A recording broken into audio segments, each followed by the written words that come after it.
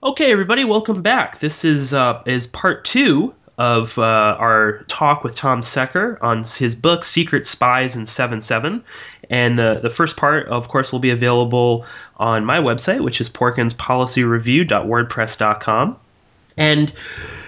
Tom, I, I, think we've more or less discussed the, the basics of the case, the outline, and the uh, the evidence that you present and and your theories on the case. Um, and so maybe we can move a little bit away from that and discuss this uh, notion of predictive programming, which is something that you go into in quite a bit of detail in both uh, your uh, your films on Seven Seven and especially in this book.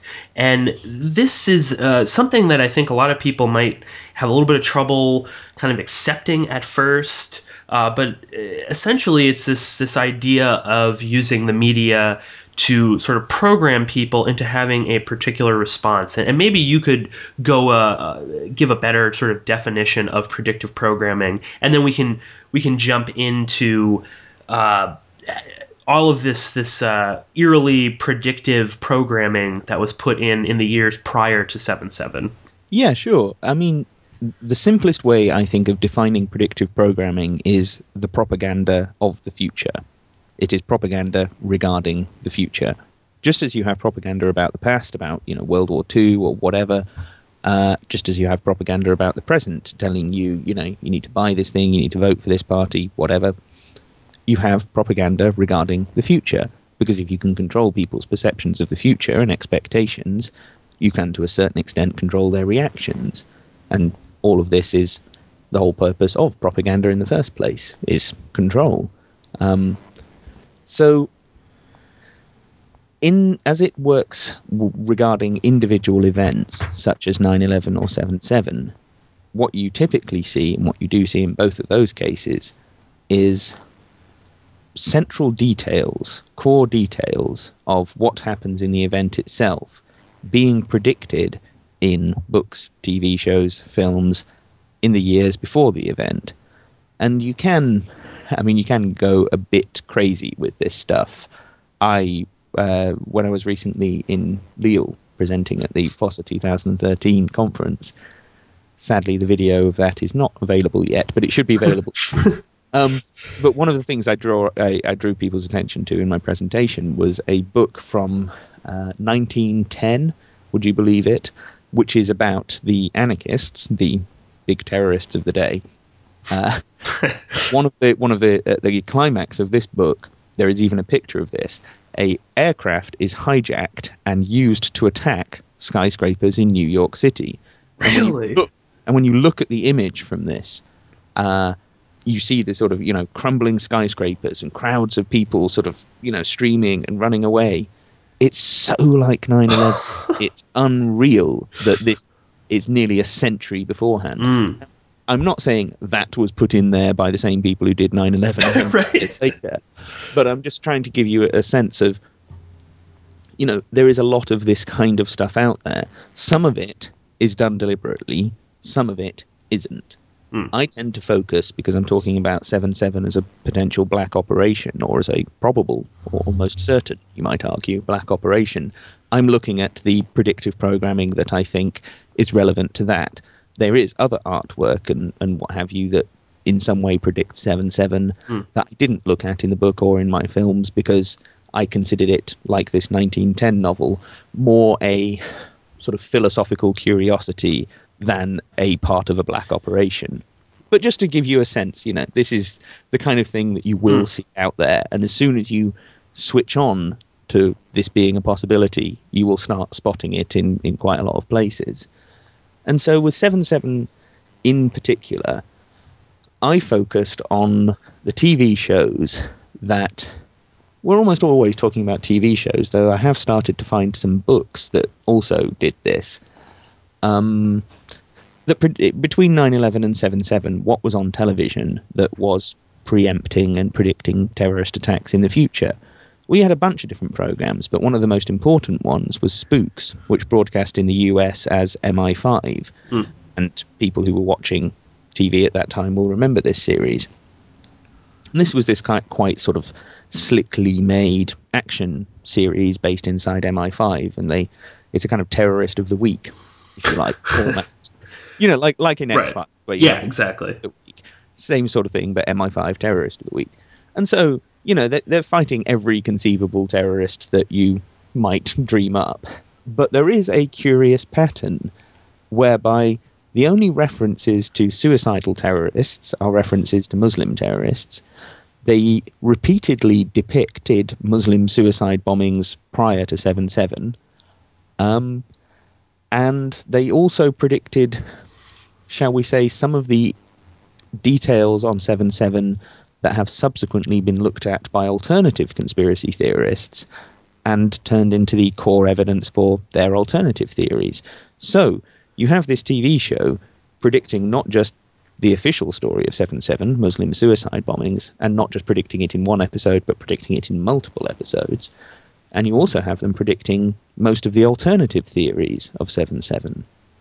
And so I'm wondering are they not only conditioning people before the event to accept the official story, Muslim suicide bombers, were they also conditioning people to accept some of these, I would think, misleading alternative theories? Mm. So that no matter what people's reaction to 7 7, it took them away from the truth. It took them away from what really happened here. So, like you say, some people are going to say that's a pretty wacky and crazy idea. But consider this Spooks is not the only TV show in which this happened but there are several others. They were all produced by the BBC, which is the British state broadcaster. They are supposedly independent of government. They're right, not. Yeah, yeah. you know, the idea that they can make a BBC TV show about MI5 and it be independent of MI5 is is it's yeah. absurd. That doesn't happen. And in fact, we know from various commentaries I have the, the box sets of this series because it's a very important series in my research. Uh, and listening to the commentaries on this, they're, they're frequently making reference to the contact they had with MI5 and MI6 in the production of this show.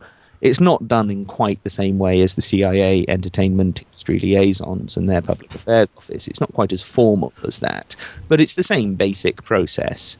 It's clear from various interviews with the uh, screenwriters that they were plumbing ex spooks and even in some cases current spooks for storylines and ideas and things to put in their in their episodes and put in their scripts.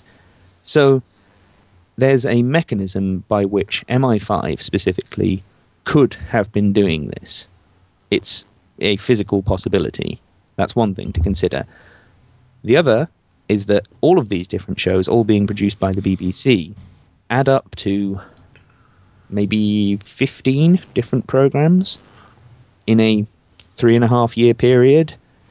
What are the odds of all of those TV shows predicting basically the same memes, the same details, sometimes in different combinations, within that very short time frame? Well, I don't think the odds are are that good. If we're only talking about one or two shows that predicted something about 7 7, it'd be like, well, there's that many TV shows being made that, of course, they're going to predict a few details about the future. Whereas when you have this, it seems concerted, repeated effort to hammer home these same memes, these same ideas, these same stories and narratives, it, it, it, strikes me that it must have been at least to some extent deliberate. I don't mm. know that every single one of these shows was being deliberately kind of scripted in some way by MI5, but some of them certainly were. Some of them must have been. Oh yeah, and I, I think one of the, the strongest examples that you point to in the book is this episode of Spooks, which was broadcast on July 7th, a few years prior to the bombing. And in this episode, it features a bomb plot that's taking place while a drill is being run by the security services. And I believe this is the only episode where MI5 can't stop the attack. And this, of course, is one of these very. Um, you know, not I don't want to say well established alternative theories, but this is one of the main alternative theories that gets trumpeted by a lot of different people, n- not with a, very much evidence to it. But uh, the fact that it was broadcast on July 7th, you you talk about how, you know, in a lot of you know very cons- uh, conspiracy oriented mindset, you know, numerology comes into to play, but just the fact that this is dealing with an episode with a drill, which uh, there there was something, some sort of drill that was going on. Uh, the significance of that, I think, is is is a is to lead people in a different direction. But I found that to be the most uh, kind of just in your face predictive programming. Well, okay, let me just correct you on one thing there it's the episode where there is, uh, which is a couple of ones earlier than the exercise episode. Oh. Uh, the one a couple of episodes earlier is the one, the first one with the Muslim suicide bomber, and that is, I think, the first episode of Spooks where they completely fail to stop the plot. Mm, mm. So they managed to stop some anarchists, they managed to stop some animal rights people, they managed to stop whoever, but they can't stop the Muslim suicide bomber. And that is, of course, the narrative we're given after Seven Seven is, oh, well, we can't stop every plot, you know. Mm. So they predicted the whole sort of intelligence failures discussion in that one Muslim suicide bomber episode. Then, a couple of episodes later, it was on July 7th, 2003, so exactly two years before 7 7, the BBC broadcasts this episode where MI5 are running a emergency response training exercise, some kind of training drill. And in the middle of this exercise going on, there is a real attack. now, the twist at the end of the episode is actually that the attack was all just simulated as part of the exercise. But for about half an hour there, you're sat there being hit with this exercise at the same simulation at the same time as reality, exercise at the same time as real attack. You're you're being presented with this entire scenario that, of course, after 9 11, a lot of people were talking about the NORAD exercises mm. and what have you that were going on that morning, and the, and the FEMA one in the World Trade Center. And quite rightly, because with 9 11, it's extremely suspicious that you have all of these overlapping exercises and training drills going on at the exact same time as a real attack. But with 7 7, the situation's a bit different. You only have one exercise being run that morning. It's not being run by a government agency, it's being run in the private sector the scenario is eerily similar to what really happened, but we don't have any direct evidence connecting that exercise to the attack for real. So we've always got to wonder what is the connection? And not just that Spooks episode, but another show that also broadcast both in the UK and the US, the two big conspiracy markets, if you like. Um, was a, a film called uh, Dirty War, which was made in 2004, broadcast shortly after 9 11 2004. Um, it was made by HBO and the BBC, joint production. It depicts Muslim suicide bombers. It depicts four Muslim suicide bombers attacking London, and two of them actually attack Liverpool Street Station, one of the stations that was attacked on 7 7. So it predicts the official version just as much as any of the episodes of Spooks uh, uh, predicts the official version. Now, at the opening of this film, there is a disaster response training exercise that is mirrored at the end of the film with the real attack. So you also have this not quite the same thing where it's happening simultaneously, but this notion of we're preparing for a scenario with an exercise and then the real thing happens it fulfills our prediction. So, uh, with 7 7, you have two slightly different versions of this theory. You have the idea that the exercise being run on the morning of 7 7 when the real attacks was happening was cover for some kind of false flag operation. You also have the theory that exercises being run before 7 7 were preparation for the real attack. And both of these theories were predicted on television in the years before 7 7. So you have both versions of this drill gone live theory about 7 7 being presented to us and being preconditioned in the public's mind through the medium of entertainment before we ever even had any evidence that this was going on on 7 7. And so I'm wondering was that exercise on the morning of 7 7 being run not to provide cover for the real attacks in terms of actually carrying them out, but to provide a bit of smoke and mirrors and a few misleading cul-de-sacs that don't really go anywhere. A sort of false conspiracy theory made to measure for conspiracy theorists, Mm. alternative conspiracy theorists, and there, thus are these TV programs uh, predictive programming Mm. Aimed at us, aimed at the alternative crowd rather than aimed at the general public. So you have the suicide bomber predictive uh, and and you have the exercise um, predictive programming aimed at the alternative public. So they're trying to dominate both different crowds, mainstream and alternative, trying to dominate their perceptions and precondition them before this event ever happened. And I think the answer to is all of that what's going on? I think the answer is yes. And I again I present this case and try and document it as thoroughly as possible Mm. in the book. And you know, you can watch these TV shows for yourself and make up Mm. your own mind. And you, you also point out some of the uh, historical instances of predictive programming and propag- propaganda, which goes back to World War II. Uh, you know, you, you make you, you really do present a very full case uh, that this is a real phenomenon and that it, it does happen. And of course, you don't want to fall down the rabbit hole into thinking that like every film that comes out is, is predictive programming.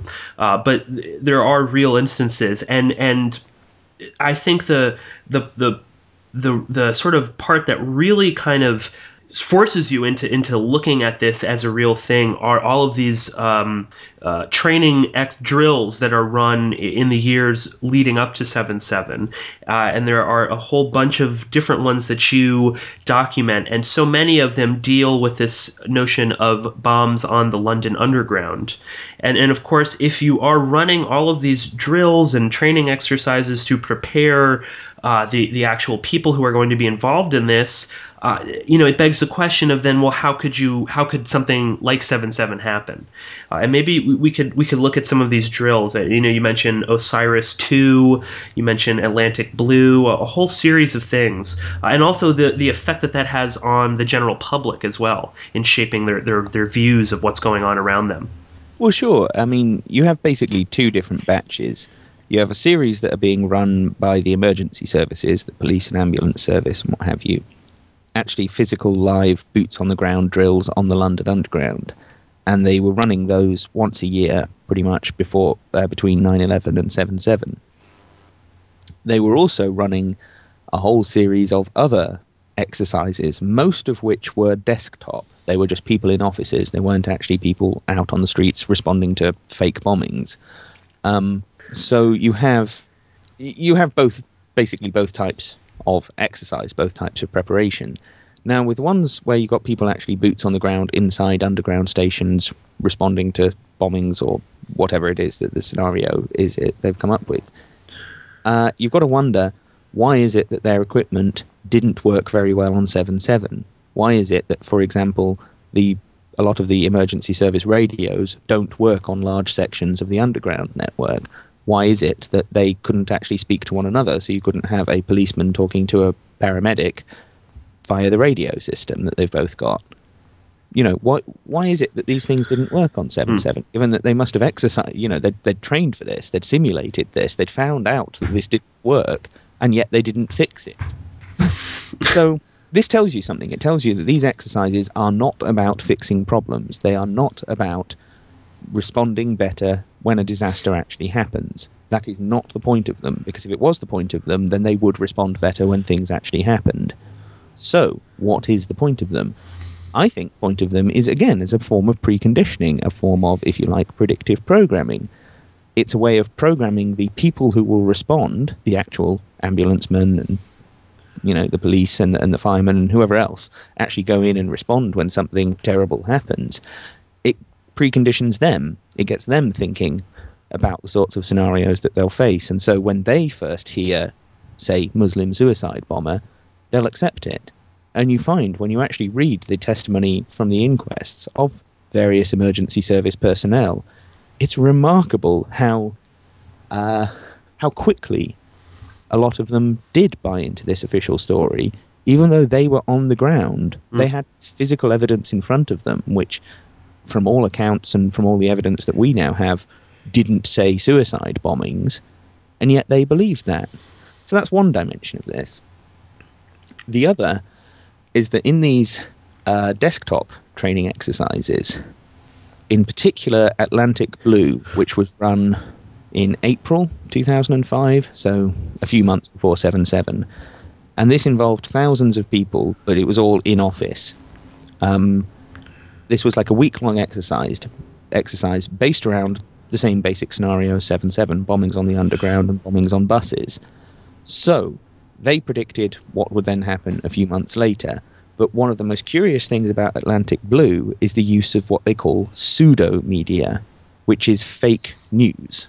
They produced hours and hours of fake news broadcasts about these attacks and fed this, these news, broadca- uh, news broadcasts to the exercise participants, to the people working on the exercises, and monitored their reactions.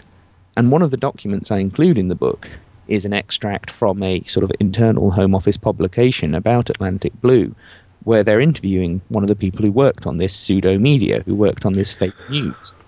And they say basically the purpose of this was to see if we could get the exercise, the people doing the exercise, to respond in a certain way if we give them a certain bit of information. Is that not predictive programming? yeah. actually what we're what we're talking about here. Mm. And there you have it in, in black and white, or if you read the original version, you get all kinds of silly colours. it's this awful magazine. what is it? What is? It's called CBRN News. Mm. So CBRN, chemical, biological, Oh, radio, right. yeah, weaponry, and it's CBRN News. A wonderful magazine title. Well, think about what sort of people would produce a magazine Mm, like mm. that.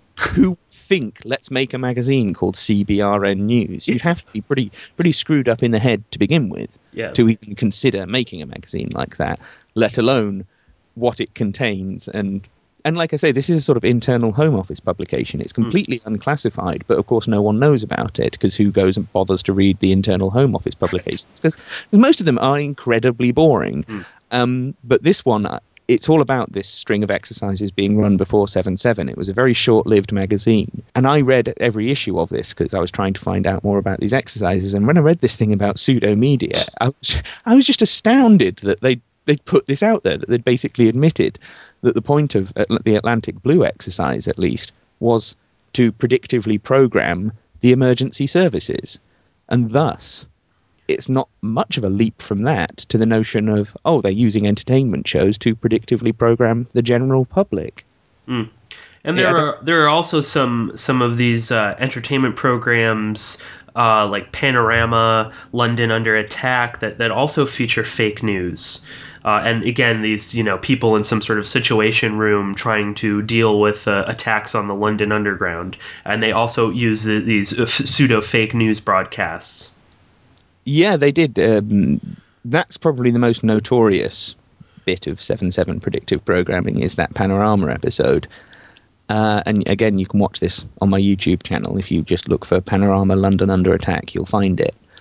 And this was where they got a group of so called experts. And like you say, they stuck them in a situation room scenario. They basically sat round a table being fed information via mocked up news broadcasts about a suicide bombing attack on the London Underground. And this show was being made in May, two, it was broadcast May 2004, so over a year before 7 7. And funnily enough, um, it was, if, I, if memory serves, it was broadcast on the exact same day as there was an exercise in New York based on bombings on the Lon- on the underground on the metro system in New York. So a bit weird, Mm. I would say. yes, certainly. I- the significance of that is, but it was a weird detail when I noticed Mm. that. I was Mm. going through the timeline and "Hmm, that happened on the exact same day. Um, so you have that program. You also have another one which was called Crisis Command, which sadly there doesn't seem to be any record of. You can't get copies of these episodes anymore. Um, where they had the same sort of thing, but they had members of the public. So they'd have three members of the public sat around a table being fed fake news about a terrorist attack, and they would have to decide how to respond to it. And it was a sort of game show format whereby they had to say, you know, do we shoot down the plane or not, for example. Um, and inevitably they'd sort of dither and say, "Oh no, I don't really want to make the order to shoot down a plane," and then they'd see news footage of you know plane crash Houses of Parliament or something. So it was this sort of you know the more brutal and the more kind of fascistic you are, the Mm. better you do in this game Mm. show format. So again, it's it, you know, is this not all a form of predictive programming? Is this not Mm. all about trying to uh, shape people's perceptions of these events before they've even happened, or alternatively, shape their perceptions of events as they are happening and shortly after they've happened? Because they would use the same methods, regardless of at what point in time you're talking about, regardless of what your temporal relation is to the event. As I said at the top, propaganda regarding the past, propaganda regarding the present, propaganda regarding the future. They do it all. Mm. And and it, it, it does beg the question, uh, uh, you know, when when the when seven seven actually did take place, how much of the media was simply uh, whether they were conscious or unconsciously doing this, just sort of feeding into, oh well, okay, well of course it, it has to be Al Qaeda, because you know for the past several years we've seen nothing but Muslim suicide bombers bombing the London Underground.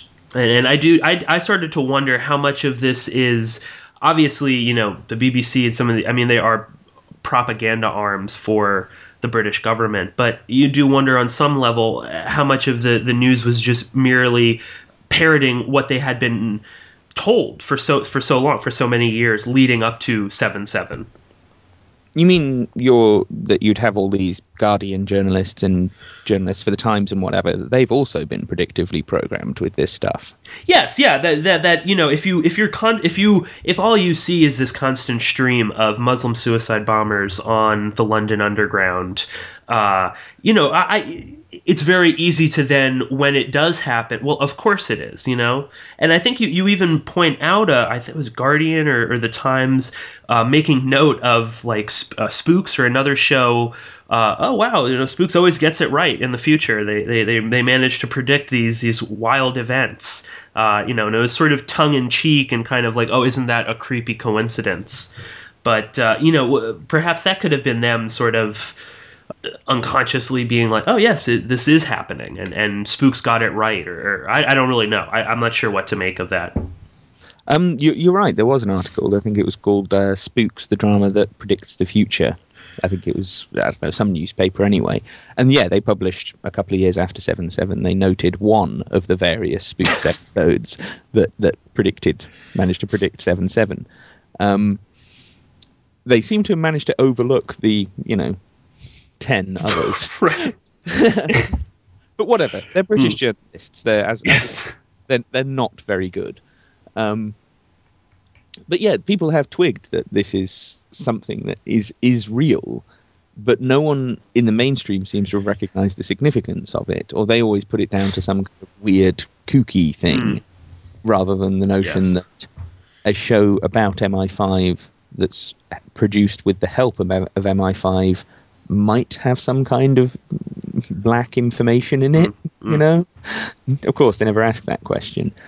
Uh, Uh, yeah, yeah. I think the journalists themselves are subject to this whole process, Mm. and even actually with the with the suicide bomber episode of Spooks, or the first suicide bomber episode of Spooks, which is uh, season two, episode two. Um, one of the actors who, since leaving Spooks, has almost exclusively appeared in either spy dramas or movies about transhumanism. it's, it's funny following these people's careers Yeah. and what sort of things they end up doing. It's it's also amusing. Like uh, one of the terrorists in Dirty War, this another this film that predicted seven seven. Uh, then a year later turns up as one of the MI5 agents in Spooks. Mm. so you know, yeah, that, that's weird. You know, it must be using for him, let alone for us. Mm. Uh, yeah, one of the actors in this suicide bomber episode, one of the spooks, one of the MI5 characters, he actually said in an interview that when he first read the script for that episode, he was like, "Oh, this is going to be a bit controversial," and he was kind of worried about um, them. The way he put it was, "Let's not put ideas in people's heads." course, what ideas are they putting in people's heads? He was obviously talking about, "Let's not inspire anyone to become a suicide bomber," but the if you like, twisted implication of that statement is they were putting the idea of suicide bombers into the public's heads. So I, I always found that statement kind of Mm. amusing and chilling at the same time. Mm. I think also the uh, uh, something you you also document is the shooting of uh, uh, John Charles de Menezes, and uh, this was a man who I think this was a, after seven seven, who was mm-hmm. someone saw him and he had you know, they claim he had wires sticking out of his jacket and he was running, and a bunch of uh, cops gunned him down. And this is uh, a meme that is repeated over and over and over again in spooks of you know the MI5 agents shooting down these terrorists, and I thought that that was was such a a, a, moment where people were just, oh yeah, I guess he, he just got caught in the crossfire. You know, that's that's the war on terror. That sucks. And I found that to be the most uh, almost subtle way uh, of predictively programming people to just accept that yes, you could get gunned down, uh, you know, in a, in a crowded urban area because you were running because someone thought you were a terrorist. Um, yeah, I, I would interpret that string of shootings in not just Spooks episodes, but again, at the end of Dirty War, two of the. Muslim suicide bombers or would be suicide bombers are shot dead by police snipers. Um, you got to understand, in the UK, that doesn't happen. The police do not shoot people dead frequently. it's not like in the US. Mm. Um, we don't have that many armed police over here. Well, armed armed with guns over here. So this we don't have that many police shootings. We have some. I'm not denying that, but this uh, Jean Charles de Menezes shooting that happened uh, 15 days after 7/7. Um, that was a, if you like, a watershed moment, a landmark event that they just shot someone dead on the streets. That was quite unusual and, and shocking for, for British people. So you've got to understand the significance of that. But yeah, that shooting in so many ways was predicted by all these different TV shows, and almost always it's the same episodes. It's the mm. same episode where you have some sort of Muslim suicide bomber story culminates with one of these terrorists being shot dead by either armed police or special forces or, or whoever. And so, when this happened after 7 7, and they basically what happened is you have 7 7, which is a series of bombing blamed on suicide bombers. Two weeks later, you have a series of events that happen on tube trains and buses, uh, whereby some Muslim chaps set off devices. They weren't explosives, they were basically hair bleach poured into chapati flour. So these people were either complete idiots who were actually trying to blow themselves up and become suicide bombers, or they weren't trying to build bombs in the first place and this was some kind of stunt. And that was their defense at trial that this was some kind of political stunt or protest. And frankly, that does kind of make quite a lot of sense given the absurd nature of the so called bombs that they had. The day after they did their whatever it was that they were doing, Jean Charles de Menezes left the same block of flats that one of these guys was hiding out in, and the security services supposedly mistook him they thought that he was this guy that they were looking for, and so they followed him. They followed him on and off a bus, so no worry about him being a suicide bomber yes. at this point. They follow him into a tube station. Don't seem there's much worry about him being a suicide bomber at that point. He goes down the escalator and onto the platform. At that point, they really start to worry about things, and they chase him down there. He walks onto the train. He no, he doesn't run. At no no point in this does he is he actually really running. Uh, sits down on the tube train, bunch of armed, sup- supposedly police, but there is quite a lot of well evidenced speculation that this was actually a military unit that did mm. this rather than the police, burst onto the train, shoot him, drag him to the floor, shoot him a bit more, kill him stone dead. Amusingly, the driver of the train, when interviewed by the media, said that he thought it was fanatics doing the shooting, that he thought people doing the shooting were terrorists. And perhaps he was right in a manner of speaking. Mm. He, I think, he then runs off down the tunnel and is pursued by an armed police officer. so you know, it's this really crazy event. Mm. But their excuse was, "Oh well, we thought he, he, we thought he might be a terrorist. We thought he might be a suicide bomber. So that's why we had to do this. We had to stop him. We had to take him out." But there is no evidence of this. And like I say, they followed him on and off a bus. They were perfectly mm. happy to catch a bus, but suddenly when he goes underground, where it's much harder for people to see him and it's much less public, um, they suddenly decide now, oh shit, he's a suicide bomber. We're going to have to kill him. Um, so there is something deeply, deeply wrong with this, but it's not quite sure what. It's not quite sure what mm. the hmm. truth is here. Did they deliberately take him out? Did they actually mistake him for someone else? And they were always planning to sort of take someone out as a response to 7 7, and they just got the wrong guy? I mean, I'm not quite sure what. But yeah, all of this was predicted in the same through the same means that they predicted both the official and alternative versions of 7 7. However, there's one more dimension to this, and that is that one of the other alternative versions of the 7 7 story, one of the other alternative conspiracy theories, is that the alleged bombers were shot dead on the morning of 7 7 at Canary Wharf. Now, I've always found this to be extremely implausible because, for one thing, you wouldn't have to do it.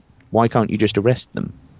Arrest, take them off to a warehouse somewhere and shoot them there. I mean, for heaven's sake, you don't if you've got a bunch of guys that you're setting up as patsy suicide bombers, you don't shoot them in Canary Wharf. Mm. You don't make that big a show and that big a song and dance of it. That's not how black operations are run. It just isn't. Um, you would only shoot someone in public if your aim was to get a big public reaction, to make a big song and dance and a big show of it. You wouldn't do that if you were quietly rubbing someone out. You'd, you know, do what they did to Michael Hastings or whatever. yes, yeah you do something that's that's not so obvious and not so traceable. Um, so I've always found that that story rather that theory rather implausible, and the evidence backing it up is virtually non-existent. So I wonder, with all of this shooting terrorists dead on television before 7/7 and before the Menezes killing, were they not only predicting and predictively programming the Menezes killing as a just reaction to 7/7? But were they also again predictively programming an alternative version of 7.7 that is misleading and that goes nowhere and that's ridiculous? I think potentially they were doing all of this stuff in one go. And i know for some people that's going to seem pretty complex and perhaps even absurdly complex but you've got to remember these people are spies. This is what they do for a living is build incredibly complex deceptions. That's how they make their money. So the idea that they're doing that to us kind of strikes me as natural. Now mm. that I've thought about it and now that I've researched it in detail and found, you know, there is abundant evidence that this is going on, it just strikes me as, well, of course they're doing this. Why wouldn't they be doing this? Once they'd figured out that they can, of course they would. Yes, I, th- I think anytime people uh, think that the security services, oh well, they wouldn't they wouldn't go that far. I mean, yes, they would. They they, they certainly would, and they they have in the past. And of course, if they if they've figured out a way to do this, and it is very subtle. It it's not it's not so overt as as you would think. And, and and as you go through it in the book, I mean, you see it's this it's this slow but very persistent, you know, movement towards towards seven seven with all of these different things going on. And I mean, you you, you point uh, you know very much to the fact that. Uh, I, I, or I saw that a lot of this predictive programming uh, affected the pub the public at large in a way of dividing people into these two groups of the official conspiracy theory and the alternative conspiracy theory. And for people in the alternative conspiracy theory uh, movement, you know, that this is really, uh, I think the predictive programming has become very powerful and it has led people into this you know down a rabbit hole into into a cul-de-sac that you can't really get out of and people become obsessed with this Peter Power or Canary Wharf or, or, any of these things, and they, they no longer investigate anymore. Uh, so, in that sense, this has been a very um, powerful tool for the security services to use. Well, I think I think you're right in the specific specific case with seven seven that that's what they were trying to do, and that's what they've managed mm-hmm. to accomplish.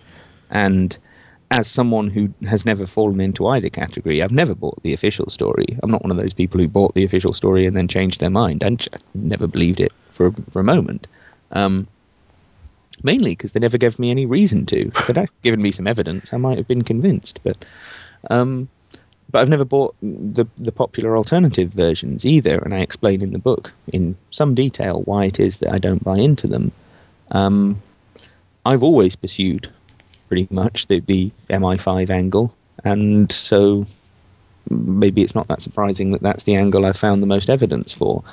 But I think it's also true that predictive programming more generally has had this effect on what we call the truth movement, and even the realization that predictive programming is real has had this kind of stult, uh, stultifying effect on, on the alternative media and the truth movement because now they see predictive programming in everything. Mm. And that, that reduces it to being meaningless. It reduces it to just being, you know, I can't even write a poem without, you know, someone else using me of predictive programming. I'm not saying this has actually happened. I'm giving a, a hypothetical example that in the truth movement, you can't really make any prediction without someone saying, "Oh, it's predictive programming. You're all trying to deceive us." Mm. And they've also turned the the exercise thing, this realization that sometimes training exercises are then echoed in reality into every last bloody exercise out there. They're chasing it and saying, oh, it means that there's going to be a flood here, or Mm. there's going to be a hurricane there, or there's going to be a terrorist attack over there. And none of these times has, has this ever proven right. Mm. No one has found a way to turn either watching training exercises or watching TV shows into a means of predicting the future. Okay? Mm. The alternative me- media is obsessed with doing this, and every time they get egg on their face. And I have someone who's watched this over a period of several years. Now I kind of find it quite funny. I kind of find it quite, amu- quite amusing to watch these predictions, and Mm. I'm just going, nope, that's not going to happen. Mm. Oh yeah, everything. Uh, sound like- Olympics and all, all sorts of. Uh, Oh, totally. The Olympics. There was Yeah. loads of stuff. Yeah, yeah. And people went absolutely crazy with it. And I. I, I was talking for, for months beforehand, for years beforehand, saying, no, nothing is going to happen at the Olympics. I stake my reputation on yes, it. yes. Precisely because, you know, there's so much hype about this that I can't help but Yeah. think the hype is being stoked. The hype is being manufactured so that we're all looking in that direction rather than looking at, you know, the economic collapse that's going on around us, for Mm. one Mm. um, and so, but instead, people were obsessed with oh, there's this. Look at the symbolism in the in the mascots that have been designed and stuff like this. And I'm like, okay, maybe there is some symbolism there, but really, is this the most kind of useful way of spending your time? Is this really productive in your life? Is this really advancing your understanding of the world and the people around you, or is this just you obsessing over some graphics that have been invented by who knows who for who knows what purpose? And with the Olympics, it turned out to be a complete distraction. And so my, my instinct on that was right. I'm not saying don't look at this stuff at all, of course. I, I spent a long time looking at this stuff with regards to 7 7, but don't get so carried away with it that the the flashy images and decoding the flashy images becomes your whole way of dealing with politics because there are much more important political things out there than that. And what what gets to me is just the idea that you can have people in the truth movement, alternative media, however you want to categorize that, who can totally uh, buy into the idea that the you know there there, there is a, an invisible government, the the security services, they they do act above everyone else, and yet that they would be so utterly convinced that they would you know put it out there in the open with oh there's a drill. That means that this is happening. I mean you know I, I don't understand how they can't see that maybe this this this drill is really the you know the deception is just look at the drill and focus on the drill and then all the way over here we're going to be doing something else and you're not going to be looking there. And i it just boggles me that they fall into the same trap that if other people did that about an official story or whatever, you know, you would have people screaming, "You've got to wake up, sheeple," and and and all of that. But they they they, manage to fall into this same exact trap, and they they don't seem to be aware of it. And now it's to the point where anytime there's a drill, th- this is you know some ruse to commit some act. And I just don't understand why they would do that. And uh, you know, these people who run these intelligence agencies are smart they, they know that people get obsessed with these drills and I, I see that as hence why there's always a drill no matter what it is that's going on there's always some sort of drill that people can then point to and say oh this is what was really happening Well, I think that, that that's one way of interpreting it now, particularly in the kind of post 9 11 truth movement, where with 9 11, or at least up until that point, I think there was this correlation between. Mm. You know, using exercises as some kind of cover for a black op. There are plenty of documentable cases of that, and I think 9 11 was probably one of them. Uh, after 9 11, that's when I start to wonder. And yes one of the reasons why I wonder is because when you look at the way that particular idea of the exercise that goes live has played out in popular media, The places it turns up in are very, very curious. And let me give you three examples. The first is Enemy of the State, the film, 1998 film, Enemy of the State, which kind of predicted the whole Edward Snowden thing, among other stuff. Yes. Um, and and where a building is blown up by the company Controlled Demolition Incorporated. Um, there you now, go, in, folks. In, in, the, in that film, that film is, is fascinating for a, a million different reasons. But in that film, you have the NSA chasing around Will Smith, right? Um, and for whatever reason, um, and they the team that is recruited within the NSA to do this sort of black op on Will Smith is told that they're running a training exercise. And at the end of the film, when this whole thing's gone horribly wrong and a bunch of people have wound up dead, some of these surveillance operatives were saying, "Oh, well, we just we just thought this was a training exercise." So that's one, and that's in 1998. Two, you've got the Spooks episode that predicted 7/7, right? That uh, two years before 7/7, you have this exercise gone live storyline in a Spooks episode.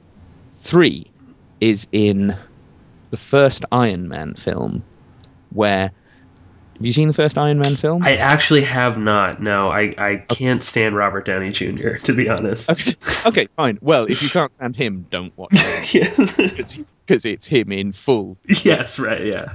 You know, he's completely a complete narcissist in that mm. film. Um, both him and the character he's playing. But in that, there is a bit where he's flying around in his Iron Man suit and he gets into a bit of a tussle with a couple of uh, US Air Force jets that try and shoot him down because they don't know what this thing is. He's a UFO, right? Mm.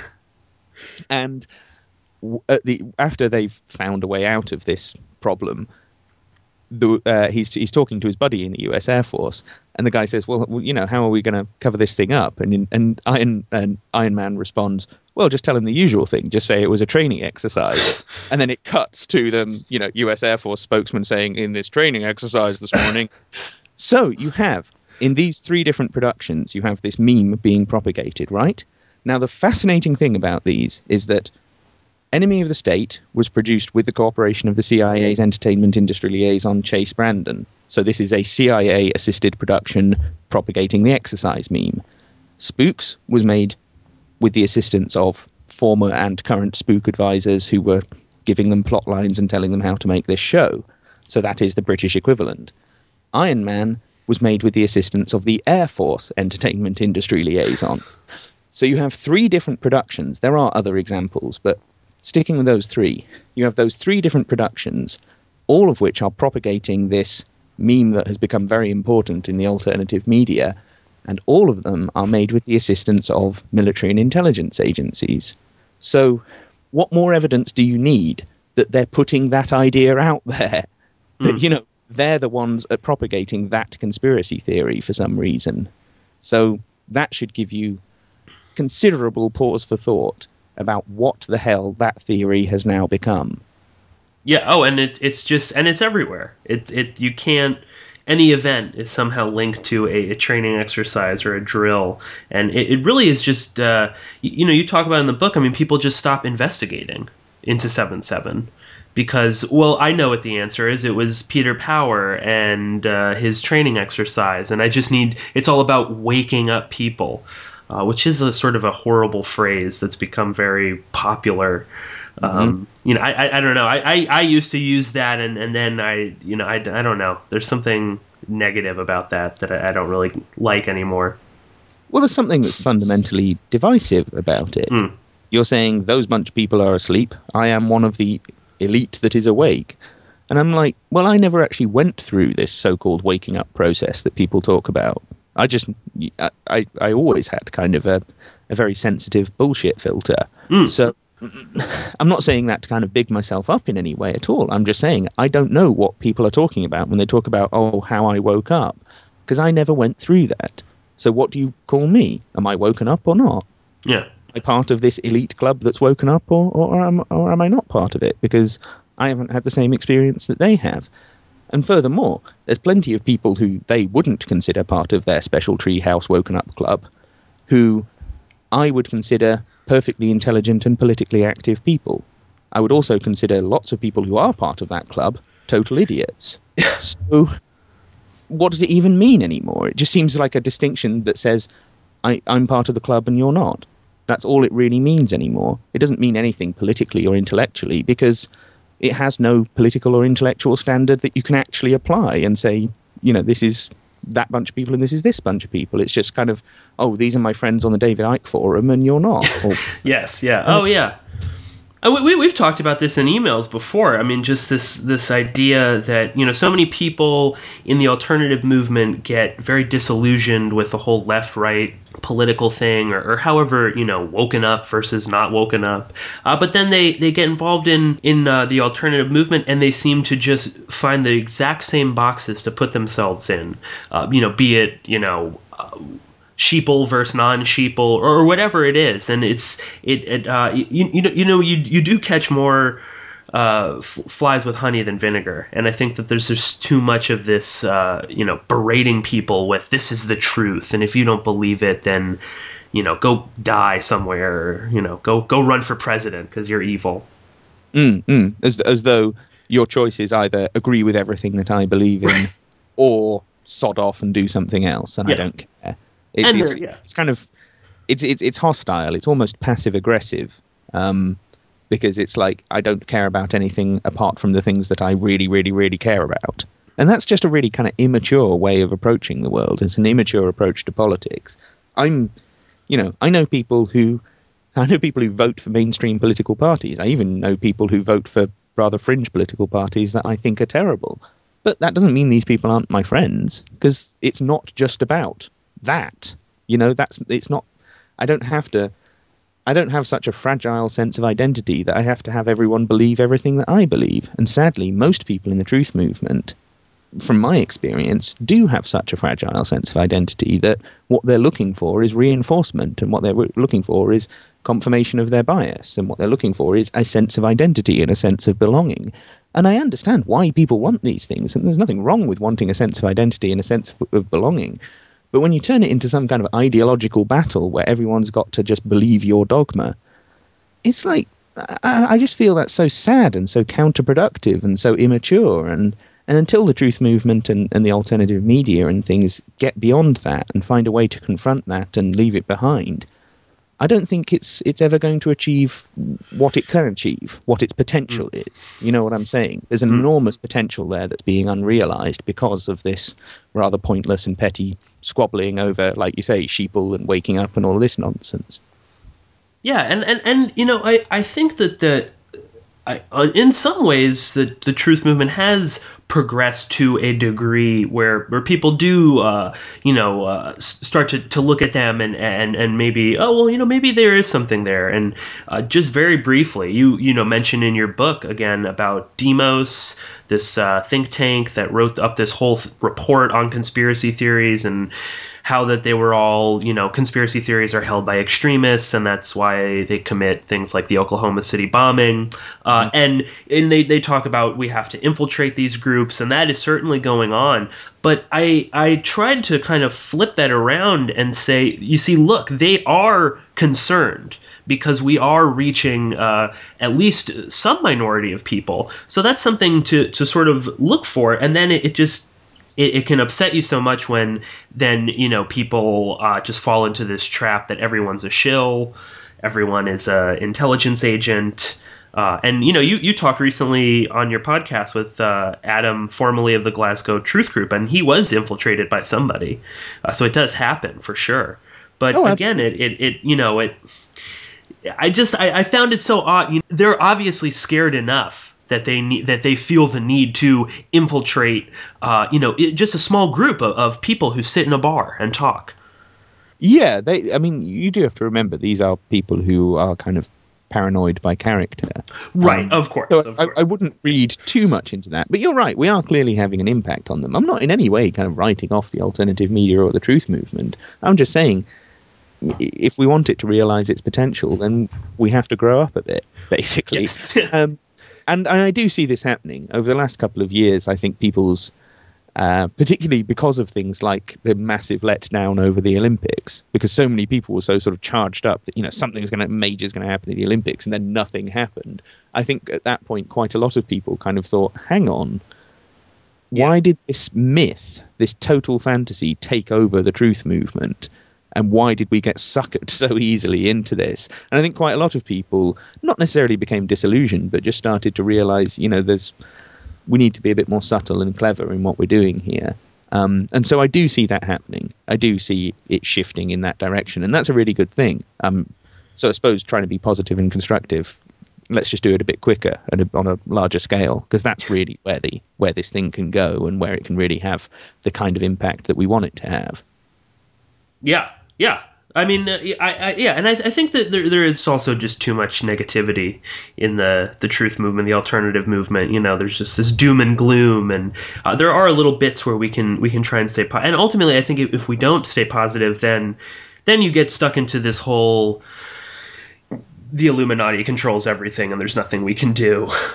Mm, mm. You know, which is just another one of these uh, these little boxes that they they you know someone is trying to put you in there. You know, they're they're A trap that's been set. yeah, exactly, exactly, and and you talk about that in in your book again as well. Well, Tom, we've been talking for a while now. We've we've gotten a little bit off the the topic of seven seven, but maybe just very briefly, um, you could just tell us. Uh, you, you know, you, at the end of the book, you talk about how we could solve seven seven, and because ultimately this hasn't been solved, no one has been charged, no one has been held accountable for the death of almost sixty people. Uh, and is there a way to to pro- to progress to to solve this? There is, but I suppose it depends on, on, on what you mean by solve. I mean, how much evidence do you want? How much evidence do you need that this, certainly that there's been a cover up? There's been a massive cover up, and that's been obvious almost since day one, really. As to what they're covering up, solving that, it is possible, but I don't hold out an awful lot of optimism that it's going to happen. And I didn't write this book thinking I'm going to be able to somehow cause a new investigation to occur. I, I knew that that wasn't that's not a realistic hope, um, or it's not at this point. If things radically alter in the next five to ten years, then maybe. But after that point, it will just become another kind of unsolvable event. Um, but then there is the the court of public opinion, and just like with the JFK thing, or with 9/11, or with any of these kind of massive traumatic events, the court of public opinion is kind of what really matters. Mm. Um, I don't mean to be crass, but if those four men didn't kill those 52 other people, I can't really help solve the, the, the case of what happened to those 52 other people beyond what I've already done. Um, I'm not kind of giving up entirely. I'm just saying I've kind of contributed what I've got on that. Hmm. Whereas the court of public opinion, you know, to what extent 7-7 continues to traumatize people and continues to be uh, exploited for counter-terror laws and all the rest of it. You know, if we can slow down that process or even reverse that process, that in some ways is probably a bigger victory than solving the, the individual case itself. So that's kind of what's on the table for me, I think. Realistically, that's probably the fight that we should be fighting. Yes, and I, I, I would wholeheartedly agree with that. I think, again, we're, we're looking for that answer, for that moment where, where everything will be okay. And that's I don't think that's really going to happen necessarily. And we, we need to not look to some sort of moment or person to help us achieve whatever it is. And we, we need to just, on our own, we need to do this ourselves and with other people around us. Well, we've been talking for a while now, Tom. So I guess we'll probably wrap it up now. But before we go, please tell everybody where they can go and uh, read your work, uh, your websites, your book, your films as well. Everyone should go and see them. Yeah, sure. I mean, my main terrorism website for the sort of thing that we've been talking about tonight uh, is investigatingtheterror.com. That's all one word, investigatingtheterror.com. You can get my book there, you can download my films there, or watch them via YouTube, or listen to previous interviews I've done on my book and on various other subjects. If you want to learn a bit more about the relationship between the intelligence agencies and culture producers and TV producers, then my stuff is on spyculture.com. Again, one word, spyculture.com. Um, and you can also download my podcast from there, which is called Clandestine. So check out those two sites for pretty much everything it is that I've done. All right, awesome. And uh, your films? Yeah, my films are 7 7 Seeds of Deconstruction and 7 7 Crime and Prejudice. Crime and Prejudice is the better of the two films, in my opinion. It's better made, and it was the second one that I made, so it has more up to date information. They're both freely available all over the internet, and you can download them both as AVI files from investigatingtheterror.com. All right, excellent. Tom, thank you so much for coming on the show, and thank you so much for doing uh, such a long episode with me. Oh, thank you, Pearse. It's been a pleasure. Oh, absolutely. All right, we'll have to have you back on soon. Take care. You too. Okay, everybody, so that is the podcast for this week. I'd like to thank Tom Secker again for coming on and, and uh, doing such a great long podcast with me. It was a real, real treat. And I'd like to thank all the listeners who took the time and sat down and listened to this. And if you did enjoy what you heard, then I would suggest that you go to porkinspolicyreview.wordpress.com. And there you'll be able to find all of my podcasts, all of the writing that I do, and everything that I'm working on right now. You can, of course, uh, follow through the RSS feed or through email, and you can always find me on Twitter at porkinspolicy. And if you do like uh, what I'm doing, uh, it would be just a tremendous help if you just spread it around and just tell your friends about it, post it on your, your Facebook or whatever you use, uh, and it, it, it really, every little bit helps. So thanks again, and I will be talking to you very soon.